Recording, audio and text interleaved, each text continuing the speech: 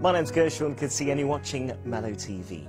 Have you been suffering with back pain that has made your life unbearable and unpleasant most of the times?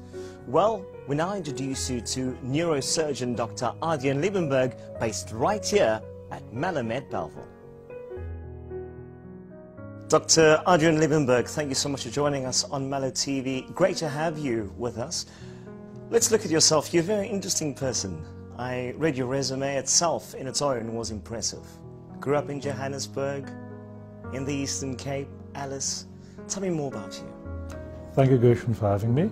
Um, yeah, I did my secondary schooling in East London, and then my primary medical training in University of Stellenbosch and at Tygerberg Hospital. I spent a, the first half of my internship at Tygerberg and the second half in the UK, and then came back into residency with neurosurgery. I completed that and then I had a, an urge to broaden my horizons, to have further teaching and, and learn how other people in the world, especially in the first world, did neurosurgery. And I was fortunate enough to get a position at Hurstwood Park in Sussex in the UK where I worked as a clinical fellow for just close than five years uh, through all the different departments and with lots of different specialists. And that really drove my passion for patient education, patient care. I broadened my surgical horizons and also taught me to publish and gave me a love for publishing. Why neurosurgery? Yeah, you see, I don't really know. When, when, when I was, uh, was a trauma doctor at Tygerberg, the, the neurosurgeons were godly to me. And I used to not call them the first names, I used to call them doctor. And uh, at one stage, one of the senior residents came to me and said, you know, that they'd been watching me and they thought I showed lots of promise. And I was scared at first, but you know, the fact that I was actually seen and that I had the potential to do it uh, drove me. And it was difficult at first, but, but I, I grew to love it. You practice at Melomed Bellville. Tell me about your, your time here at the hospital. Yeah, it is one of the friendliest hospitals. You can get the staff really care. I think we have one of the most efficient theatre complexes. Um, our patient population is a wide range from poor to medium to rich people. And what I like about this is that we have a family feeling. And uh, so it's, it's, it's been very good. I've been here since 2009 and um, so far very, very good. Dr. Liebenberg, when patients come and see you, is there like a fear or, or doubt before they come and see you? Most definitely, Gershwin, is, is that I think spinal pathology and the management of, of spinal pathology has a fairly bad name in society. And it's a combination of factors. Uh, there might be some patients that have had suboptimal management, but mostly it's because it's a progressive disease. So what people don't understand is that if you genetically you have a weak back, with time more than one section of the spine will be involved. So they have this idea that if you've had a spinal procedure, you're fixed.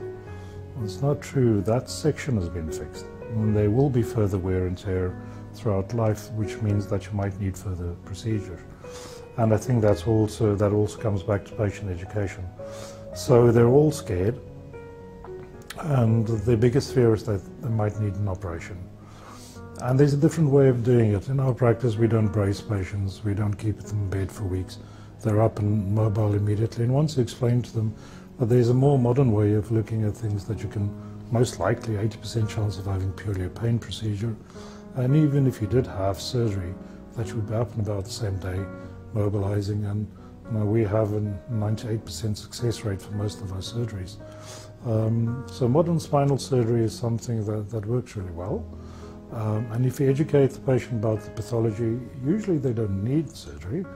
And in the extreme cases where they need surgery, once you, you spend time with them and they become comfortable, they do well. But yes, they are scared.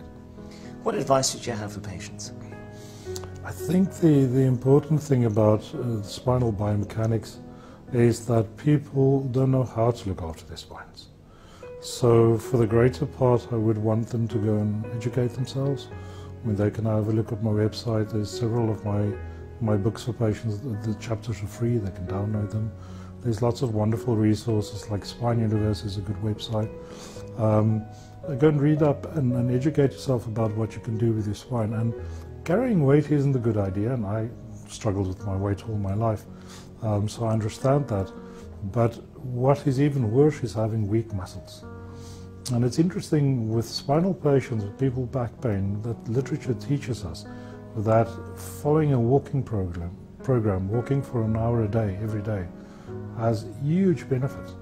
So if you look at the way that you, you treat your spine, how you lift things, how you bend, how you get out of a car seat, know, how you get into a bath, into a shower, uh, and combine that with, with mild exercise on a frequent basis, most patients will be able to look after them, their spines themselves, which is really what we want.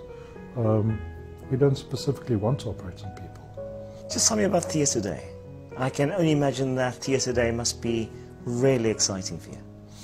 It is exciting. It, it's also very tough because you're working with people's lives and you have a very huge responsibility and the responsibility rests only on your shoulders.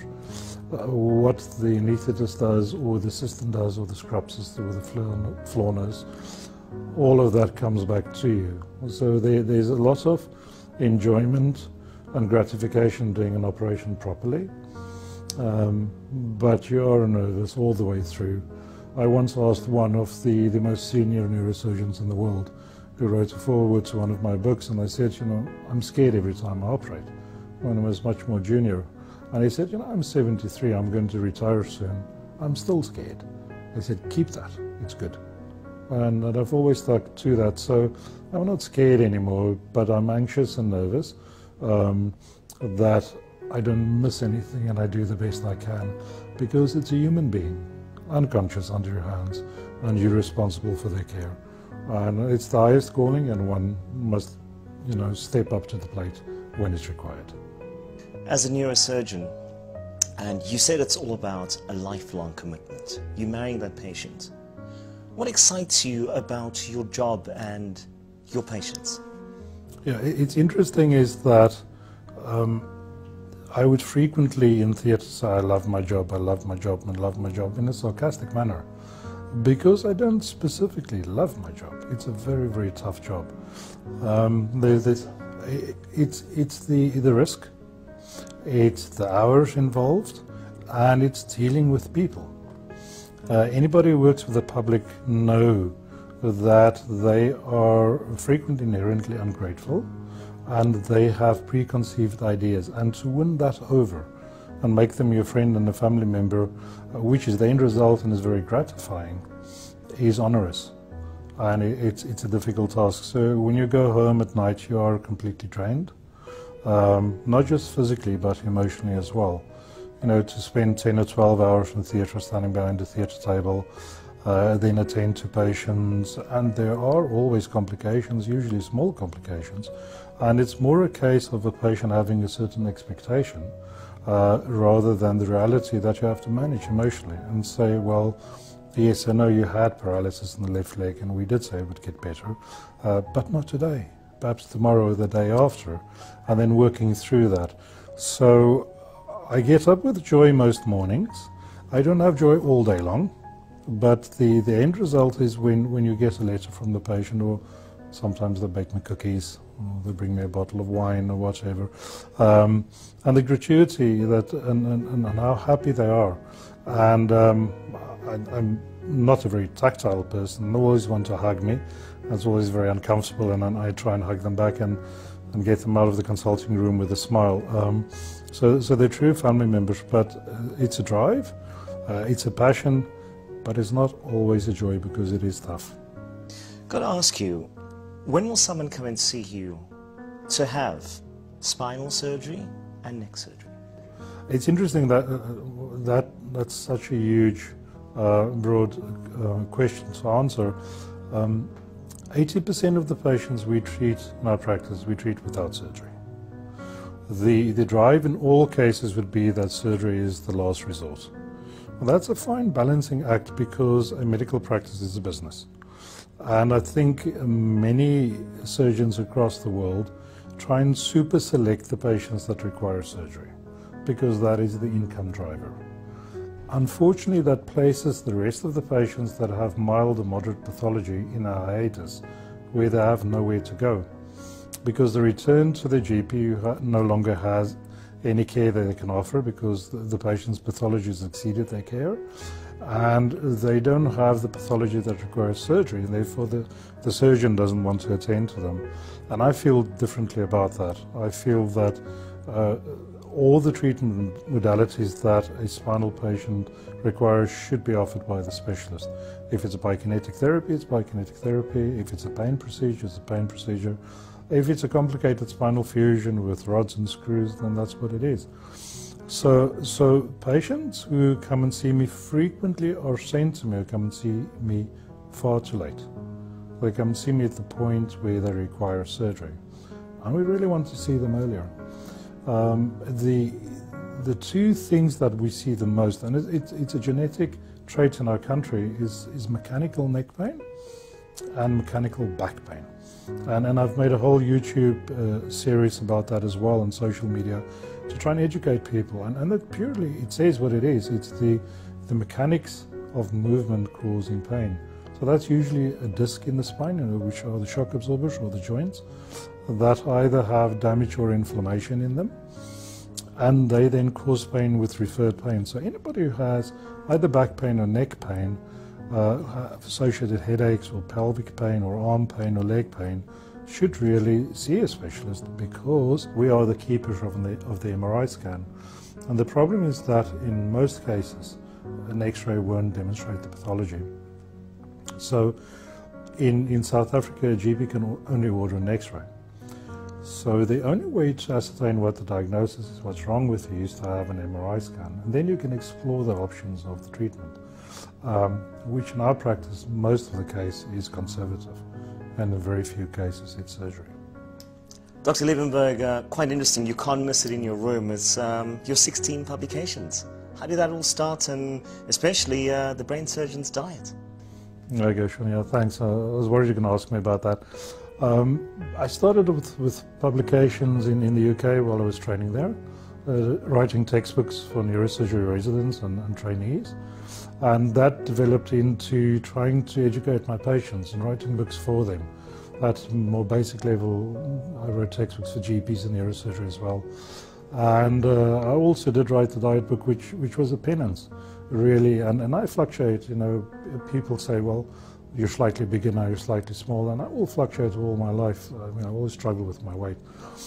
Um, but I'd, I'd, lost a huge amount of weight, about 70 kilograms, and the, the nursing staff. That's just, uh, I'm 2 Ks more than that. Yeah, exactly. I lost you.